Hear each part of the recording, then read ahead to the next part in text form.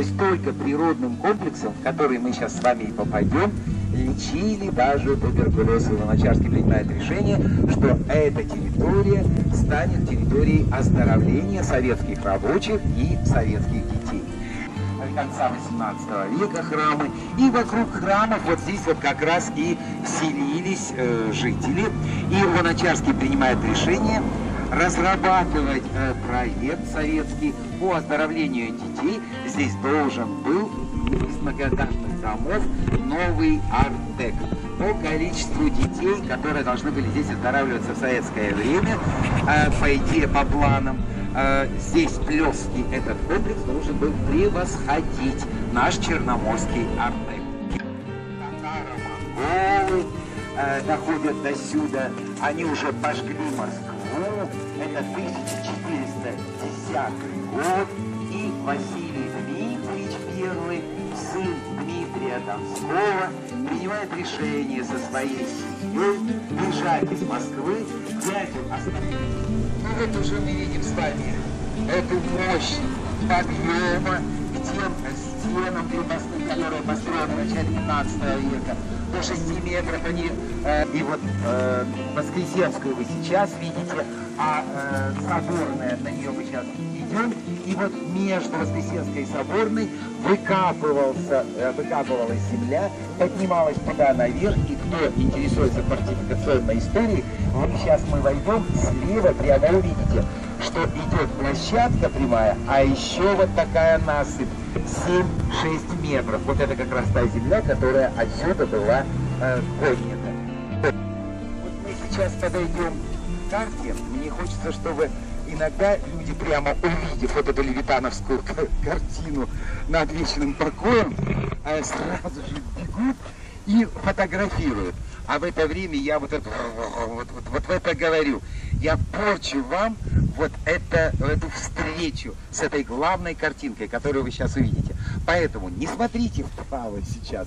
Подойдем к карте. Все смотрите на карту, кому надо и не надо. Вот мы с вами по улице Корнилова. Вот это авто, э, автостанция. Вот мы вошли на Соборную гору. Мы сейчас увидим храм, памятник Василию Дмитриевичу, который крепость построил. И с этой горы мы увидим реку Шоханку и гору Левитана. Вот э, после того, как мы обойдем эту гору, спустимся, обувь, обувь у всех нормальная, но все равно не расслабляйтесь. Там спуск по каменке, э, камни очень коварные, они протерты тысячами людей. Спустимся на торговую площадь, я вам покажу пристань, на которой мы должны оказаться в 2 часа на теплоходике. И вот такой вот маршрут теплоходика, прогулочки у вас вот и будет. Вот здесь вы увидите, э, ну обычно все спрашивают э, дачу Миловка, и все вот эти семь гор вам покажут э, с аудио. А затем я вас встречу здесь мы за 15 минут должны вот сюда вот пройти, перейти э, реку Шоханку в дом музея Левитана. А вот что дальше, мы уже с вами договоримся. Ну, а сейчас, э, представьте себе, 1888 год, э, вы сейчас увидите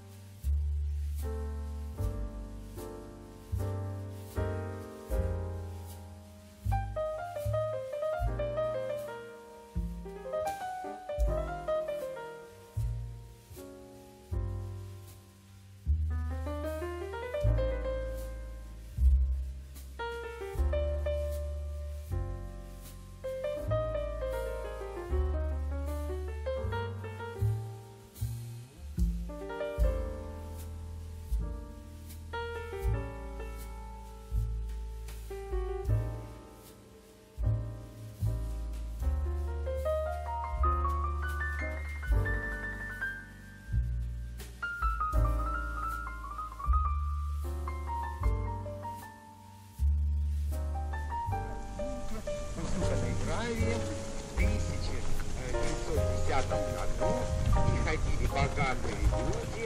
Был, конечно же, определенный фейс-контроль. Знакомили свои пути. Молодые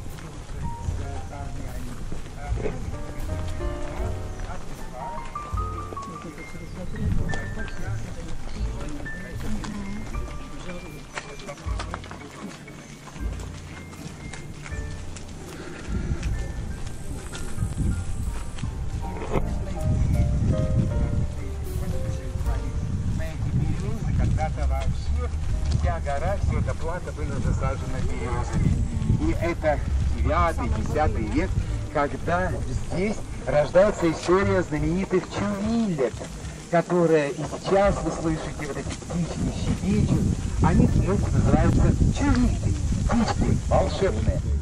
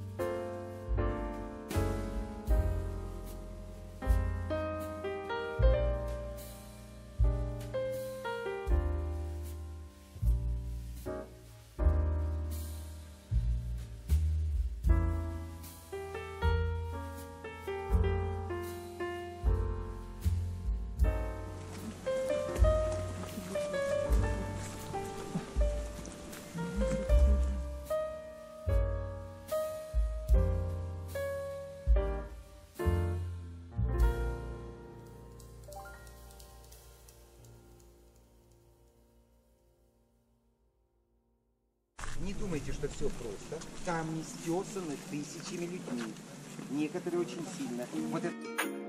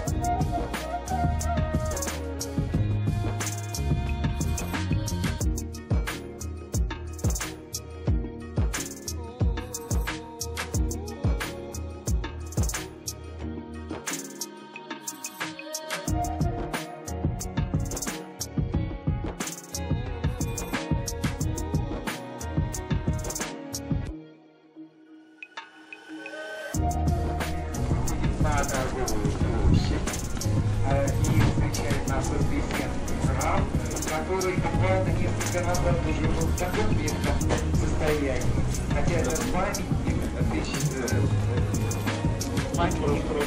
победы темного народа в войне с Наполеоном 1812 года, а церковь 1817 года. И вот фонд Светланы Медведевой э, помог восстановить этот храм. Ну и сегодня, конечно, это самое главное духовное, эстетическое, архитектурное символическая доминанта рыночной площади.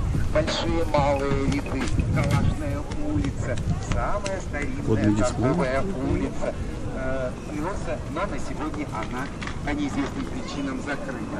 Два электромобиля скачут по плюсу, и за 100 рублей вы можете добраться в любую точку, а за 200 вообще вас покатают с комфортом, и вы будете круто выглядеть. Знаменитые дворянские купеческие дома, где сегодня располагаются плоский дом, чайный Косорылова, а вот там у нас набережная, памятник э, Шаляпину.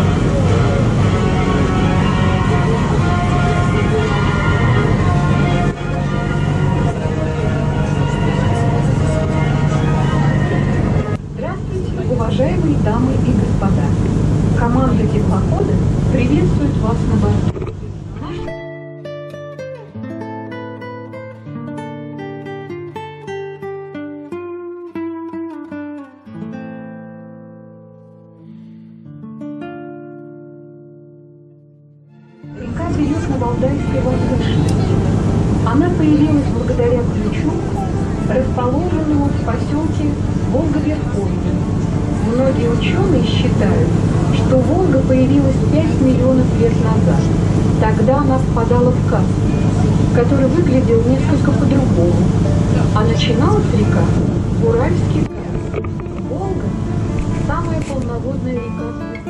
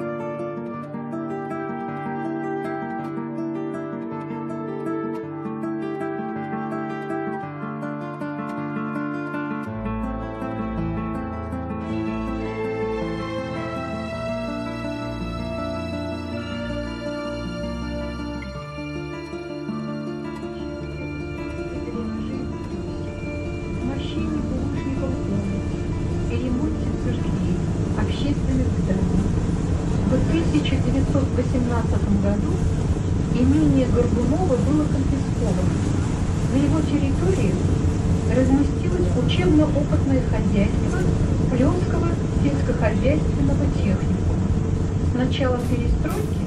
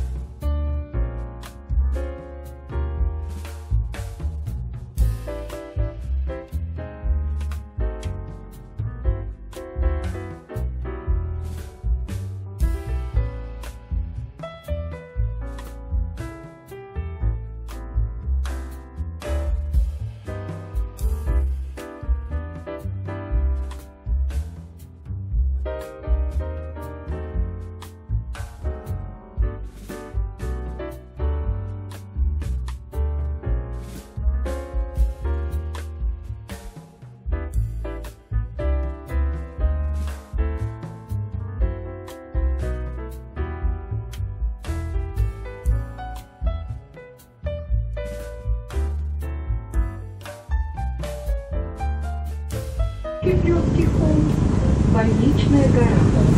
Этот холм получил свое название в конце XIX века, когда на его вершине в 1898 году на средства купца первой гильдии Григория Дементьевича Горбунова была построена первая в Йосипа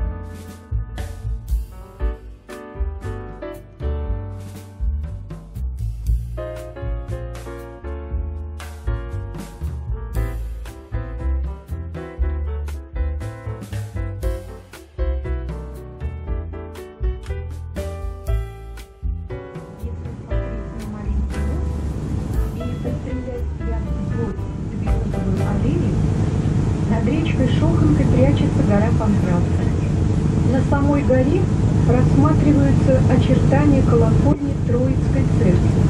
Летняя, построенная в классическом стиле в 1808 году, и купол второго отапливаемого зимнего Веденского храма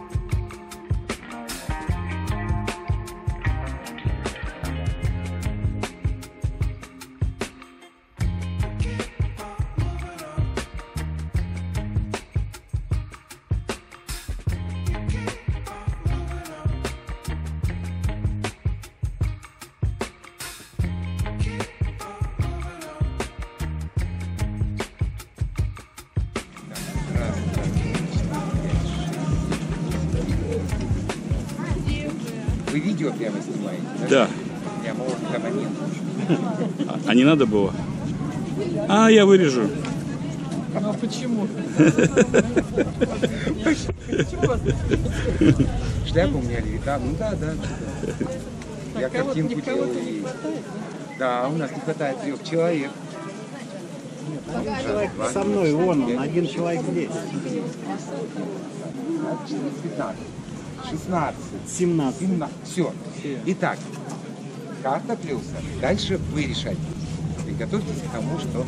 Потому что у нас по таймингу, то, что юридически должно у нас произойти, мы отсюда за 15 минут должны дойти вот до сюда. Помните, домик с зеленой крышей, вы его видели. Вы представляете, значит, где вам сказали, что дом, где останавливается. Здесь в 3 начинается экскурсия. Без 15.4 с вами прощаются там. Вы выходите. Что я предлагаю? Мы идем дальше. Вот к этой э, скульптуре городской называется дачница. Но мне его знаете, Софья Кувшинникова. И вот здесь вот, по сути дела, речная слобода заканчивается, вот она, здесь центральная часть. И мы поднимаемся на гору Левитана, вот к той самой Петропавловской крепости. Кто захочет, будет меня слушать, кто уже информацией загружен, гулять по кладбищу, там вокруг живописное кладбище. Вот и э, я где-то 5, 5, 15, 5, 20 приглашаю машинку сюда.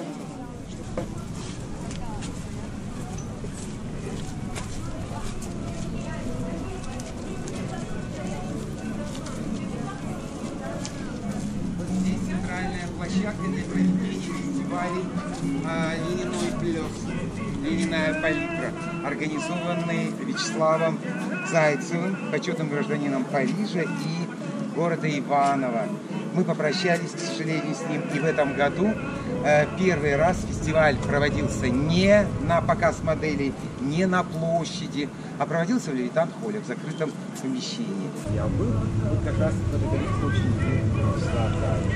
звучал э, Шаляпин, э, там шли э, бэкстейдж, и э, он, сказать, здесь на Волгу смотрел и общался, с Яковлевым подошел. Великолепная память. Кукуруза. Горячая кукуруза.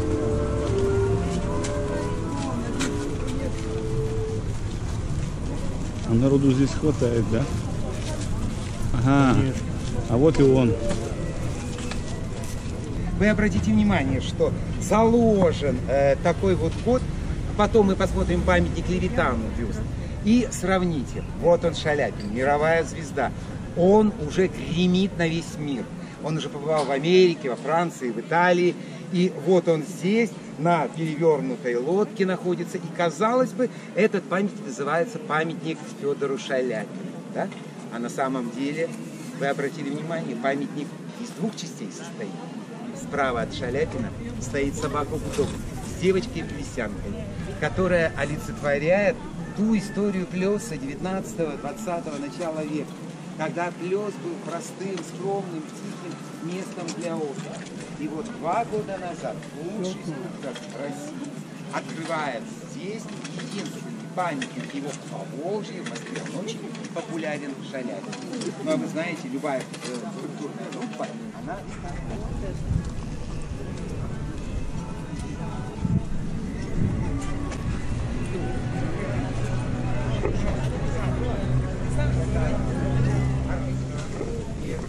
конца 18 века. Вот сейчас несколько таких интересных увидим.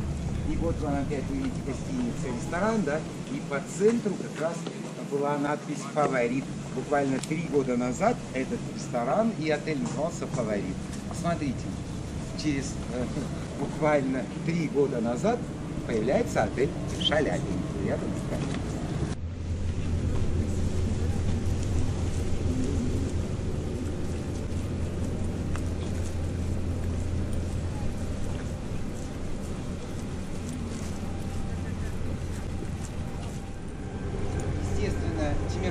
Бигдула, э, Биг- Бигдулатович Каримов э, здесь ну, не сидит. Вот он в другом месте э, решает все проблемы. А, а вот э, один из флигелей, как раз здесь в 2005 году собирались губернаторы Центральной России и э, Громов, э, губернатор Подмосковья. И вот тогда решили за его заслуги по Афганистану вот э, назвать этот дом дом Громова. Сегодня он сдается Фортеции Плюс э, э, отелем за 80 тысяч, 88 тысяч в сутки. То есть вот этот дом можно снять для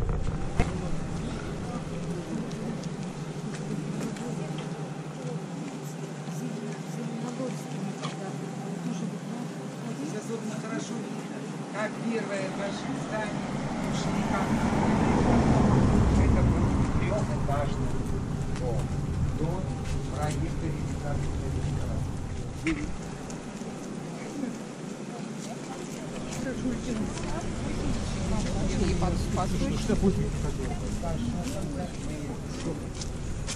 Садовой горы, вот, вот эти березы. Если взять рамку, альпы из этюдов, вот эти зеленые листья на воде, э, вы сейчас увидите в доме музея Левитана. Мы уже подошли к дому. Ну вот сравните два великих дачников Плеса. Рука- э, рукавишниковский э, э, Шаляпин и вот он Левитан во всей его красе. Советский памятник. Сфотографируйтесь, когда мы выйдем из дома музея Левитана, потому что у нас три минуты, как началась. Ай-яй-яй.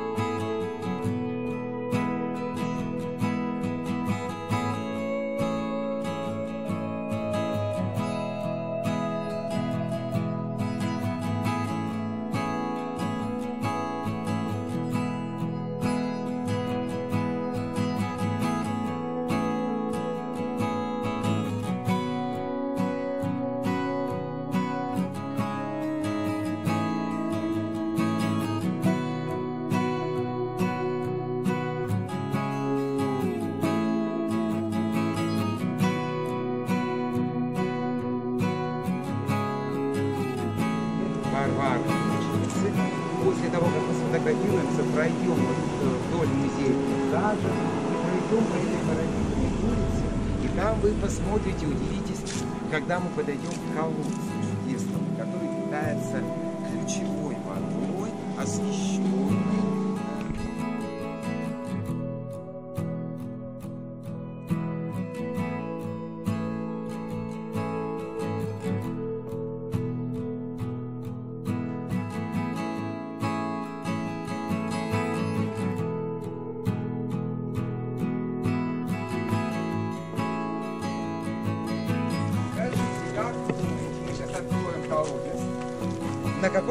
Вода там? Сейчас посмотрим на цепочку. Ну, уже поняли, да, что с этим сам, да, что он не глубокий, потому что уровень того, вы посмотрите, вы посмотрите, ну, Святая Варвара, вы знаете, это в Италии ее мощи находятся, а вот венец с ее головы привез когда-то монах, приехавший на Костромскую землю, и теперь поднимешься, Село там в 7 километрах.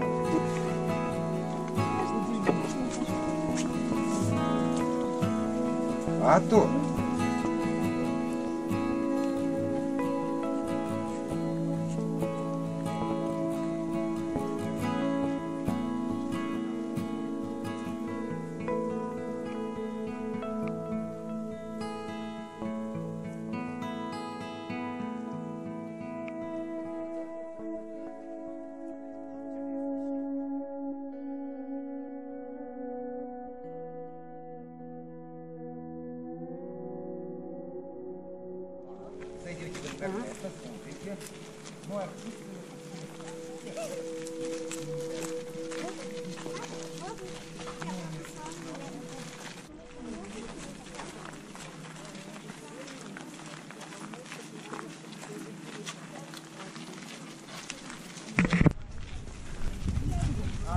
Сейчас вы какая-нибудь беспреданница. Там даже лестница какая-то.